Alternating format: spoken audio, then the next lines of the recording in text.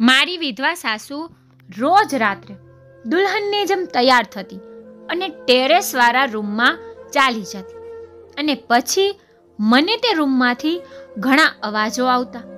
એક દિવસ આ રાત જાણવા હું છુપી રીતે તે રૂમમાં ગઈ અને દરવાજા પાસે ઊભી રહી અને જોયું કે મારી સાસુ, હે ભગવાન, આ શું થઈ રહ્યું હતું? મેં આ શું જોઈ લીધું?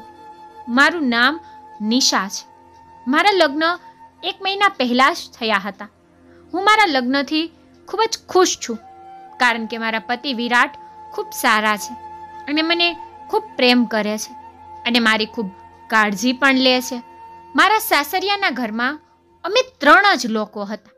હું, મારા પતિ અને મારી સાસુ. મારી સાસુ ખૂબ જ ધાર્મિક સ્વભાવના હતા. તે આખો દિવસ પૂજાપાઠ કરતા રહેતા હતા.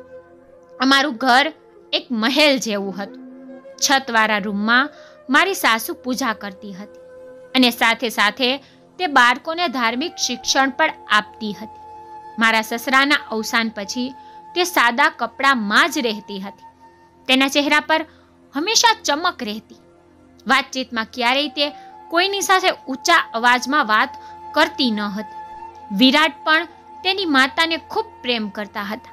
મેં ક્યારેય તેને તેની માતા સાથે ઊંચા અવાજમાં વાત કરતા સાંભળ્યા ન હતા. લગ્ન પછી જ મારા સાસુએ મને કહ્યું હતું કે, વિશાખા, કંઈ પણ થાય, તારે છતવાળા રૂમમાં જવાનું નથી. મેં કહ્યું, ઠીક છે. પણ મને મારી સાસુનું આ નિવેદન વિચિત્ર લાગ્યું કે એક જ ઘરમાં રહેતા આટલા પ્રતિબંધો શા માટે? ગમે ત્યારે ઘરમાં કોઈ પણ આવી શકે છે. જ્યારે મેં આ વિશે વિરાટ સાથે વાત કરી, તો તેણે કહ્યું, માતા તે રૂમમાં પૂજાપાઠ કરે છે. કોઈના જવાથી તેનું ધ્યાન ભટકી શકે છે. અને આજ સુધી હું પોતે ટેરેસ પર ગયો નથી. તેથી તેના વિશે વધુ વિચારીશ નહીં. મેં કહ્યું, ઠીક છે.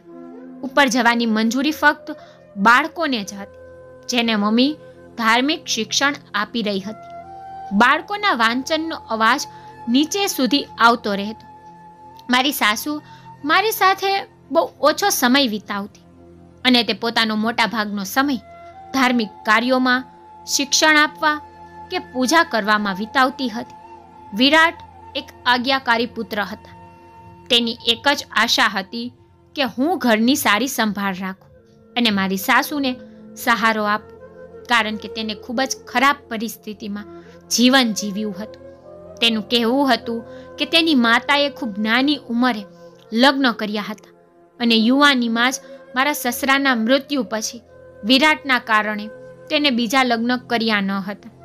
વિરાટ મને કહ્યું હતું કે તું મને વચન આપ. તારા કારણે મમ્મીને કોઈ તકલીફ નહીં પહોંચે.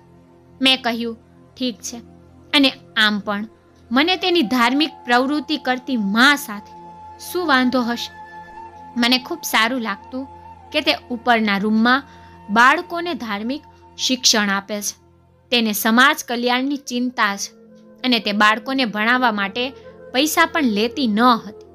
પરંતુ થોડા દિવસથી મને તેની ક્રિયાઓ યોગ્ય ન લાગી, કારણ કે તે રાત્રે પણ ઉપરના રૂમમાં જ રહેતી હતી, જ્યારે નીચે પણ ઘણા રૂમ હતા અને ક્યારેક તો છત પરના રૂમમાંથી વિચિત્ર અવાજો પણ આવતા શરૂઆતમાં મેં તેના પર ધ્યાન ન આપ્યું. પછી એક દિવસ હું કબાટમાં મારો પસંદનો ડ્રેસ શોધી રહી હતી અને તે ડ્રેસ ક્યાંય મળ્યો નહીં. મેં આખો કબાટ ખરાબ કરી નાખ્યો. પણ તે ડ્રેસ ક્યાંય ન મળ્યો. પછી એક રાત્રે હું પાણી પીવા ઊભી થઈ. ત્યારે મને કિચનમાંથી કંઈક અવાજ આવતો સંભળાયો. હું રૂમમાંથી બહાર આવી તો કિચનમાં જમવાનું બનવાની સુગંધ આવી રહી હતી. જ્યારે હું તે જોવા કિચન પાસે પહોંચી, તો મમ્મી મારી પસંદગીનો ડ્રેસ પહેરીને ભોજન બનાવી રહી હતી. હું કોઈ અવાજ કર્યા વગર રૂમમાં આવી અને વિચારવા લાગી કે મમ્મી આટલી મોડી રાત્રે કોના માટે ભોજન બનાવે છે અને તે પણ મારો ડ્રેસ પહેરીને? આમ તો તે આખો દિવસ સફેદ ડ્રેસમાં જ રહે છે, ન તો મેકઅપ કરે છે કે ન તો જ્વેલરી પહેરે છે. પણ અત્યારે તો તેને મારો ડ્રેસ પહેર્યો હતો અને હલકો મેકઅપ અને જ્વેલરી પણ પહેરી જમવાનું બનાવી રહી હતી. પણ સવારે મેં મમ્મીને મારા ડ્રેસ વિશે પૂછ્યું. આ સાંભળી તેને પરસેવો છૂટી ગયો હતો. તેણે કહ્યું, મને ખબર નથી વિશાખા, તે તારા કબાટમાં જ રાખ્યો હશે અને તું આખું ઘર સંભાળે છે. તો મને કેવી રીતે ખબર પડશે? મેં પણ હામાં માથું હલાવ્યું અને ફરી મારું કામ કરવા લાગી. મારું કામ પતાવીને જ્યારે હું રૂમમાં આવી, ત્યારે જોયું તો કબાટનો દરવાજો અડધો ખુલ્લો હતો. હું તે બંધ કરવા ગઈ. તો મારી નજર મારા ડ્રેસ પર પડી. તેની હાલત એવી હતી કે અહીં ઉતાવળમાં કોઈએ તેને મૂકવાનો પ્રયાસ કર્યો હશે. હું સમજી ગઈ હતી કે હું કિચનમાં કામ કરતી હતી ત્યારે મમ્મીએ રાખ્યો હશે. પણ હું હજુ એ વિચારી રહી હતી કે તેને ડ્રેસ પહેર્યો કેમ?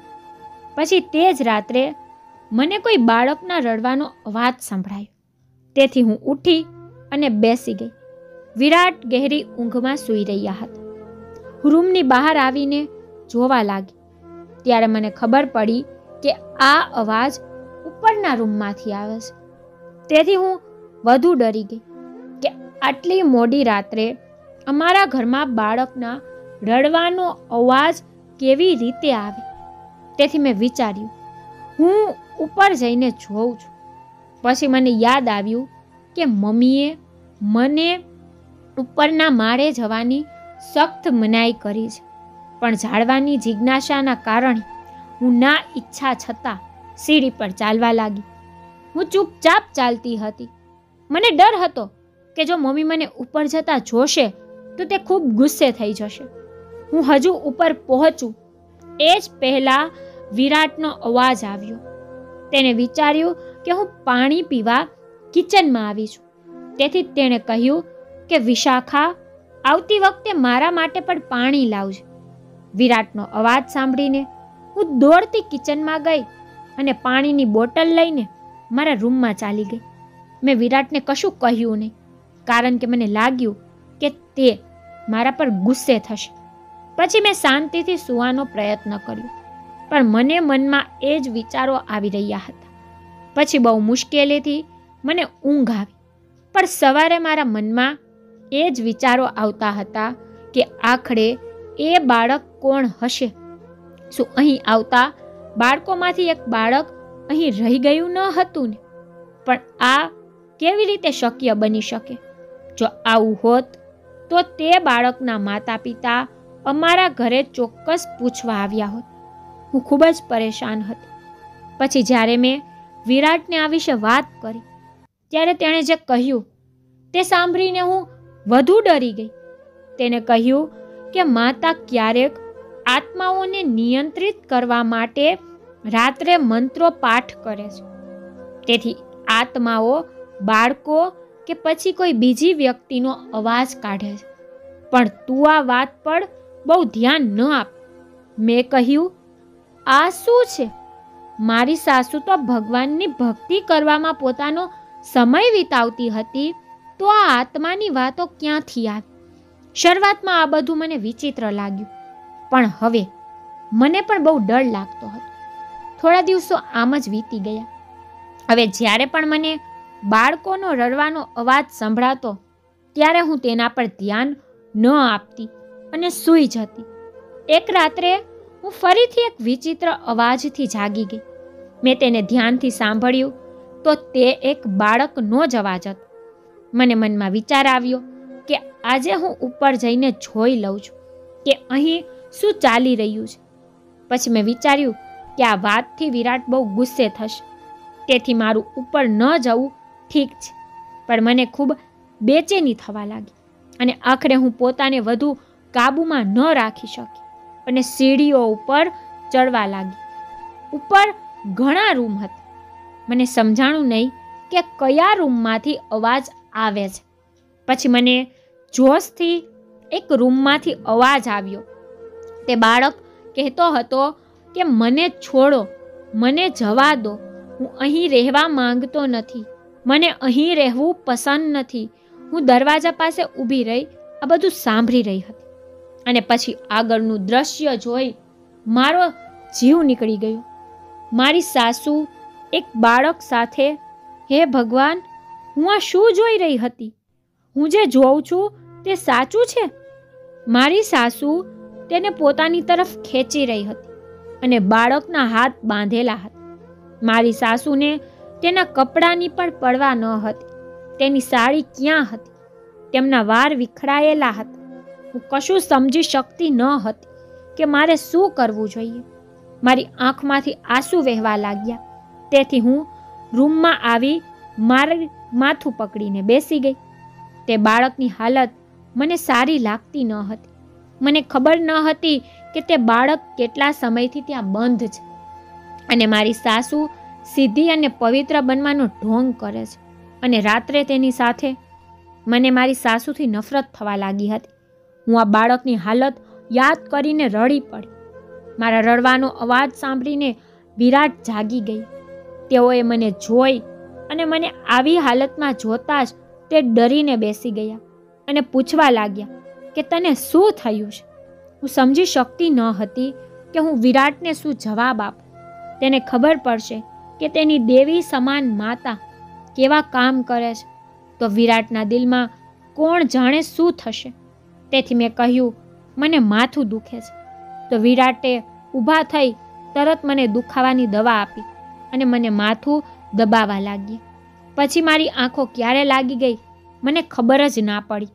જ્યારે મેં મારી આંખ ખોલી, ત્યારે જોયું કે વિરાટ મારી બાજુમાં બેઠા હતા અને હું ઉઠવા લાગી ત્યારે મારી સાસુ પણ ત્યાં બેઠી હતી અને કોઈ મંત્ર જાપ કરી રહી હતી. તેને જોતાં જ મારા શરીરમાં આગ લાગી ગઈ. મેં કહ્યું, તમે અહીં શું કરો છો? મારા અવાજમાં ગુસ્સો ખૂબ દેખાતો હતો. વિરાટે મને જવાબ આપ્યો કે, શા માટે તું આવી વાતો કરે છે?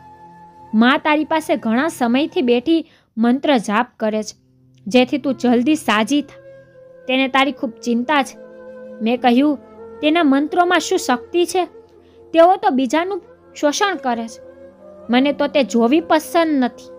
તમે તેની, તમારી માં સમજો છો. આ તો નીચ મહિલા છે. સાંભળતા જ વિરાટે જોશથી મારા ગાલ પર થપ્પડ મારી. તેણે મને મારવા માટે ફરીથી હાથ ઊંચો કર્યો. તમારી સાસુએ તેનો હાથ રોક્યો અને કહ્યું કે મારા અહીં હોવા છતાં તું મારી વહુ પર હાથ ઉપાડે છે. ખબરદાર.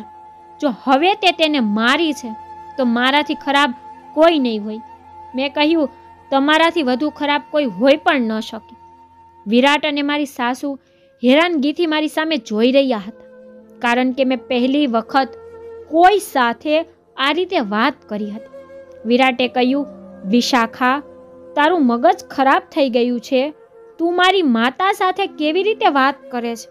હવે હું વધુ મારી માતાનું અપમાન સહન કરી શકતો નથી. મારી એક જ માંગ હતી કે તું મારી માતાને માન આપ. મેં કહ્યું, હા, હું તેની ઇજ્જત કરતી હતી, પણ હવે નહીં. તે મારી નજરથી ઉતરી ગઈ છે. હું તેને દેવી સમાન માનતી હતી, પરંતુ તે સ્ત્રીના રૂપમાં શેતાન છે. ભગવાનની પૂજા કરવાનો ઢોંગ કરે છે અને નાના બાળકોને પોતાની હવસ પૂરી કરવા શોષણ કરે છે. આ સાંભળી વિરાટે કહ્યું, તું કેટલી ખરાબ વાત કરે છે. મારી મા વિશે હવે હું સાંભળી શકતો નથી. અને મારી સાસુ ચૂપચાપ ઊભી હતી અને અમારી વાતચીત સાંભળી રહી હતી. મેં કહ્યું, હું કંઈ ખોટું નથી બોલી રહી. તમારી માતાએ એક બાળકને ઉપરના રૂમમાં બંધ કરી રાખ્યો છે. કાલે રાત્રે મેં મારી આંખે તેને તેની સાથે જબરજસ્તી કરતા જોઈ છે. મને ખબર નથી કે બાળક ક્યાંથી ત્યાં બંધ છે. અને તમારી માતા તમને કહેતી હતી, આ બધો આત્માનો અવાજ છે. તમે ભણેલા હોવા છતાં પણ આ બાબતોમાં વિશ્વાસ કરો છો. એક વાર તમે તમારી આંખોથી બધું જોઈ લીધું હોત. મારી વાત સાંભળીને મમ્મીનો રંગ ઉડી ગયો. મેં વિરાટનો હાથ પકડ્યો અને કહ્યું, ચાલો, હું તમને તમારી માતાનું સત્ય દેખાડું છું. પણ ત્યારે જ મમ્મી દરવાજા પાસે ઊભી રહી ગઈ અને કહેવા લાગી, તમારે જે વિચારવું હોય તે વિચારો, પણ હું તમને લોકોને ઉપર જવા નહીં દઉં. પણ વિરાટે કહ્યું, ના મમ્મી, આજે મને જવા દો. ઉપરના રૂમમાં શું છે? અને પછી હું અને વિરાટ ઉપરના રૂમમાં પહોંચ્યા. તે રૂમનો દરવાજો બંધ હતો. વિરાટે ગુસ્સામાં તેની મા પાસે આ રૂમની ચાવી માંગી. તો મારી સાસુએ ધ્રુજતા હાથે તેને આ ચાવી આપી અને હું મનમાં ખુશ થતી હતી કે તે બાળકને હવે આઝાદી મળી જશે. મેં દરવાજો ખોલ્યો તો ત્યાં એક બાળક બેઠો હતો અને ત્યાં એક બીજો માણસ સૂતો હતો. વિરાટ રૂમમાં જઈ તે માણસના ગળે લાગી કહેવા લાગ્યા, પિતાજી, તમે જીવિત છો. પછી મારી સાસુ રૂમમાં આવી. કહેવા લાગી, દીકરા, તારા પિતા જીવિત છે. મને માફ કર દીકરા. મારે શું કરવું? પરિસ્થિતિ એવી હતી. મારે સત્ય છુપાવવું પડ્યું. તારા પિતાના અકસ્માત પહેલા અમારા પર ઘણું દેણું હતું. એક દિવસના ભોજન માટે પણ પૈસા ન હતા અને પૈસા લેનારાઓ રોજ ઘરના ચક્કર લગાવતા. તેથી મેં બાળકોને ધાર્મિક શિક્ષણનું જ્ઞાન આપવાનું શરૂ કર્યું. મને લાગ્યું કે તેનાથી પૈસા આવશે અને અમે બે ટાઈમની રોટલી ખાઈ શકશી. કારણ કે જીવિત રહેવા માટે પેટ ભરવું જરૂરી હતું. એક દિવસ તારા પિતાની કાર ખાડામાં પડી હોવાના સમાચાર મળ્યા. તેનો મૃતદેહ ક્યાંય પણ મર્યો નહીં. અને પોલીસે વિચાર્યું હતું કે તેનું શરીર કોઈ જંગલી પ્રાણી લઈ ગયું હશે. તેથી થોડા સમય પછી તેને મૃત જાહેર કરવામાં આવ્યા. તેમના ઇન્સ્યોરન્સના પૈસા હતા. મને તે મળ્યા. જેથી મેં તેનો કર્જ ઉતાર્યો. પછી થોડા દિવસો પછી મને અજાણ્યા નંબર પરથી ફોન આવ્યો. મેં ફોન ઉપાડ્યો તો તારા પિતાનો અવાજ આવ્યો. મેં કહ્યું, તમે જીવિત છો? તેણે કહ્યું, હા, રાધિકા. મારી કાર ખાઈમાં પડી ત્યારે મને મગજમાં ઈજા થઈ હતી. હું બેહોશ થઈ ગયો. ત્યારે ગામના એક માણસે મને ત્યાં બેહોશ જોઈ મને તેના ઘરે લઈ ગયો અને ગામમાં જ મારી સારવાર કરાવી. શરૂઆતમાં મને કંઈ યાદ ન હતું, પણ હવે મને બધું યાદ આવી ગયું. હવે મારે મારા ઘરે આવવું છે. રાધિકા, પછી હું તારા પપ્પાને મળવા તે ગામ ગઈ. પછી મેં તેને ઇન્સ્યોરન્સની સમસ્યા વિશે જણાવ્યું. તેણે કહ્યું કે રહેવા દો રાધિકા, તો હું આ ગામમાં રહું છું. જીવંત હોવાની હકીકતને રાજ રહેવા દે. તે સમયે તું હોસ્ટેલમાં રહેતો હતો અને હું તેને મળવા જતી હતી. આ દરમિયાન હું ગર્ભવતી બની અને તારા ભાઈને જન્મ આપ્યો અને આ લોકોને ઉપરના રૂમમાં રાખવાનું શરૂ કર્યું. તું તારો અભ્યાસ પૂર્ણ કરી જ્યારે ઘરે પાછો આવ્યો ત્યારે મેં તને આ બધું ના કહ્યું. કારણ કે મને લાગ્યું કે જો તું બીજા કોઈને આ કહીશ, તો ઇન્સ્યોરન્સના મળેલા પૈસા પાછા આપવા પડશે. અને અમારી પરિસ્થિતિ એવી ન હતી કે અમે ફરી દેણું કરીએ. તારા ભાઈનું મગજ નબળું છે, તેથી તે વિચિત્ર અવાજો કરે છે. રાત્રે તમે લોકોના સૂઈ ગયા પછી હું તેની પસંદગીનું ભોજન બનાવીને ખવડાવું છું. જ્યારે પણ હું તેને પ્રેમ કરું છું, ત્યારે તે મારાથી દૂર ભાગી જાય છે, કારણ કે તેને એક જ રૂમમાં ઘૂંટણ થાય છે. તેથી તે કહે છે કે મને જવા દો, મને છોડી દો. હું આખો દિવસ વિધવા બની રહું છું, પણ રાત્રે મને પરિણિત સ્ત્રીઓની જેમ રહેવાનો મોકો મળે છે. તેથી જ મેં તે દિવસે વિશાખાનો ડ્રેસ ચોરી લીધો હતો. દીકરા મને માફ કર. મેં તારાથી આ એક મોટું રહસ્ય છુપાવ્યું છે. મારા સાસુનું સત્ય સાંભળીને હું પોતે શરમ અનુભવવા લાગી. મારી સાસુ તો ખૂબ જ બહાદુર મહિલા હતી. તે પોતાના પરિવારને બચાવવા માટે આટલા વર્ષોથી વિધવાનું જીવન જીવી રહી હતી. હવે અમે નવા શહેરમાં આવ્યા અને રહેવા લાગ્યા, જેથી અમારે કોઈથી કંઈ છુપાવવું ન પડે અને મારા દેવરનો ઈલાજ પણ સારા ડૉક્ટર પાસે થાય. પછી અમે તેનો ઈલાજ સારા ડૉક્ટર પાસે કરાવવા લાગ્યા. જેથી તેનું મગજ ઠીક થઈ જાય. અને મેં મારી દેવી સમાન સાસુ પાસે માફી માંગી અને તેને મને માફ કરી. આખરે દરેક વખતે આંખથી જોયેલું સત્ય નથી હોતું. તમને જો મારી સ્ટોરી પસંદ આવી હોય, તો લાઈક શેર સબસ્ક્રાઈબ જરૂરથી કરજો અને તમને મારી સ્ટોરી કેવી લાગે છે? તે મને કમેન્ટમાં જરૂરથી કહેજો. Thank you